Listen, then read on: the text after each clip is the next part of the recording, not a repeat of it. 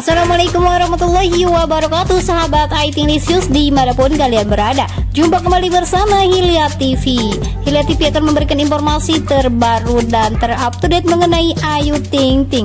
Bagi sahabat yang baru menemukan channel ini Jangan lupa like, comment, serta subscribe-nya tekan tombol lonceng notifikasinya agar kalian selalu mendapatkan informasi terbaru dan terupdate mengenai Ayu Ting Ting. Informasi pertama di sini datang dari akun Instagram Erika Sudarsono yang mengucapkan selamat menaikkan ibadah puasa kesayangan Ayu Ting Ting.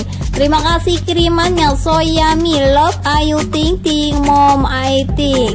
Di sini ada Ibunda Erika Sudarsono ya yang mengucapkan terima kasih atas kiriman yang diberikan oleh Ayu Ting Ting dan Mom Aiting untuk Ibu Erika.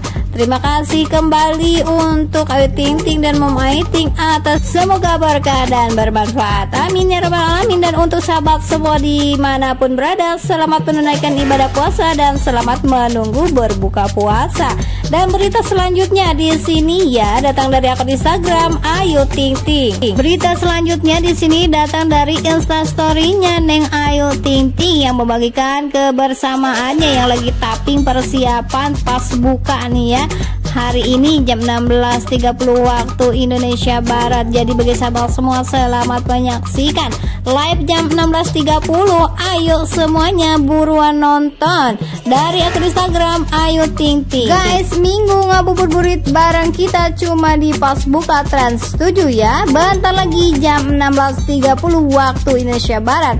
Asik hahaha. Tapi di sini terlihat ya Desi Genoveva tidak hadir di sini. Ke manakah beliau? Jawabannya simak terus ya di sini. Nanti Mimin akan memberikan klarifikasi dan kenapa alasannya Desi nggak masuk di pas buka beberapa hari ini. Lansir dari akun Instagram Setarwati, pas buka Trans 7 New, tempat hiburan terfavorit saat ngabuburit bersama orang-orang multi talent. Ada Ayu Ting Ting, Wendy Cagur dan Andre Taulani. Kemudian juga di sini informasi terbaru nih ya dari Heavy Gallery dan juga dari akun Instagram Ayu Ting Ting. Dilansir dari akun Instagram Hafni Gallery 25, repost from Dahulu KP, paket hampers Dahulu KP.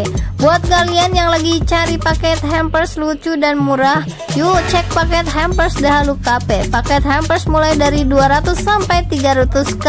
Sudah bisa diorder hingga 12 Mei 2021 via Grab atau langsung di Dahulu KP. Silahkan konfirmasi dulu ke nomor WA berikut. Cocok banget buat kiriman hampers ke teman keluarga atau pasangan kamu nih. Apalagi masa pandemi seperti ini. Jadi buat sahabat semua yang ingin punya paketan nih, paket banget ya, paket hampers Dahulu KP menyiapkan semuanya yang kalian butuhkan. Silahkan di order ya di Dahulu KP, bisa juga melalui Grab. Oke sahabat, selamat mencoba. Paketnya terdiri dari A, B, dan C. Buruan di order persediaan terbatas. Dan di sini ada berita selanjutnya nih ya.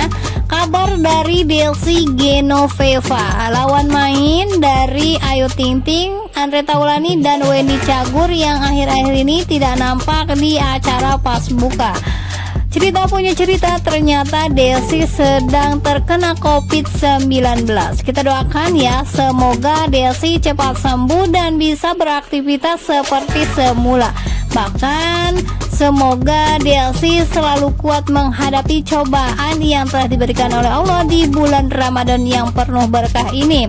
Dilansir dari akun Instagram Delsi Genoveva, di sini dia menuliskan, Delsi Genoveva, aku positif COVID-19. Mau cerita sedikit sekitar tanggal 24 April 2021. Aku merasa tenggorokanku mulai sakit, tapi aku juga kurang tahu ini efek dari vaksin atau bukan. Tanggal 26 April dan 27 April aku mulai flu berat. Kepalaku tuh berat sekali rasanya. Nah, di tanggal 26 April kemarin aku swab antigen karena keperluan shooting di lokasi dan hasilnya ternyata positif. Karena positif, aku langsung pulang dari studio dan melakukan antigen kedua kalinya di RS dan masih positif. Tadinya mau PCR langsung di RS, tapi aku sampai RS sekitar jam tujuan. Jadi katanya layanan PCR sudah tidak tersedia. Setelah dari RS, aku cari klinik melalui salah satu aplikasi yang masih bisa melayani PCR. Dan singkat cerita, hasilnya negatif. Hasil didapat di keesokan harinya yaitu tanggal 27 April. Keesokan harinya aku konsul dengan dokter melalui aplikasi dan dapat obat untuk flu dan batuk serta antibiotik.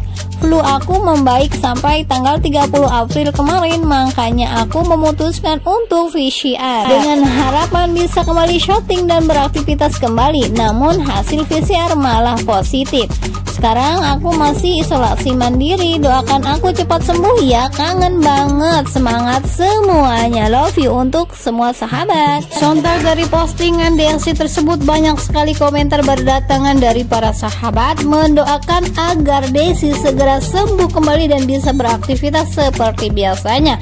Di sini dari pas buka Trans 7 Cepat sembuh Desi Biar bisa nganter paket lagi Kemudian ada Sela Rovers 12 Semangat Desi. Semoga lekas sembuh. Semangat sayang. Semoga cepat sembuh ya. Love you Desi.